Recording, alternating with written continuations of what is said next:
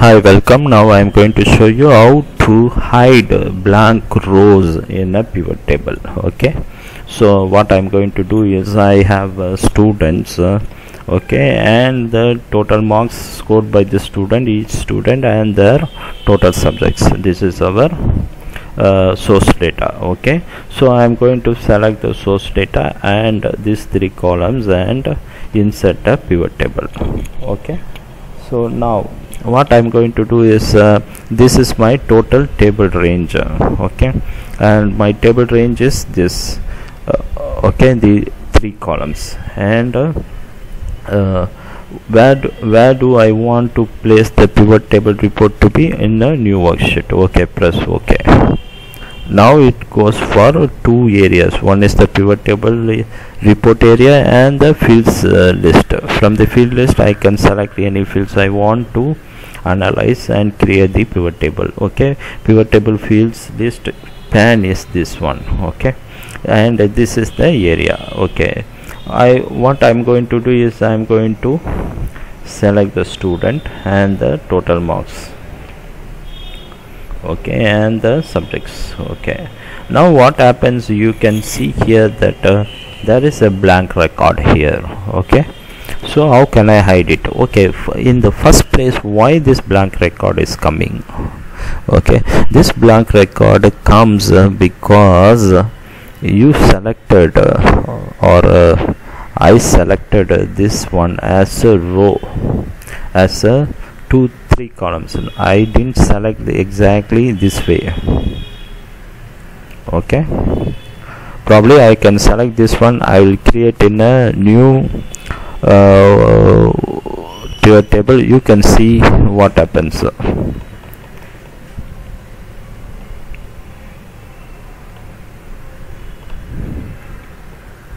You can see no blank record at all okay?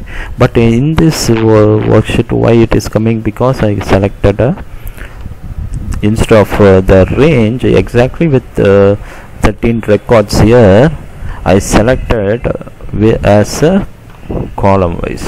Okay? That's why the blank is coming. Okay? Then why why should I why shouldn't I select this way but why should I select this way? Okay? What is the difference? Because because what I'm doing is I'm giving a higher range uh, all three columns. Because uh, this pivot table tomorrow what will happen? I will add uh, some other student okay and refresh the pivot table. That's my objective okay? But if if I select it only for a 13th row then I need to redo the pivot table to change the source range. Okay if I select it as a column wise then I don't need to redo it. I just type in whatever number of student. If tomorrow I have 10 more students I just uh, type in and uh, just refresh the pivot table. That's my objective. That's why I selected like this. Okay if uh, okay if such cases these blank records come in then how can I hide this one? Okay very fine. You can do it uh, this is low row label I say student.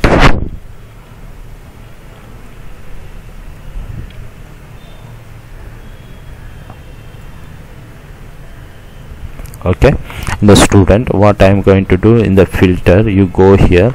You can see here at the end there is a blank. So uncheck it press ok okay so now it is gone. So whenever you find some blank you want to hide it you can do it this way okay you can go go to the filter and uh, take out the blank record okay so this is uh, my objective and to be fun part of it you have this record is uh, blank also for the student 7 okay? You want to hide it you can do it this way but uh, this is not the right way to do it. Then uh, if you want uh, you can do it this way okay? Hide that blank.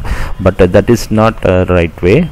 Our objective here is to just to hide the blank record okay? Hope uh, this video is uh, helpful to you. If you like my video please subscribe to my channel. The Allan Sam button is already appearing in your video.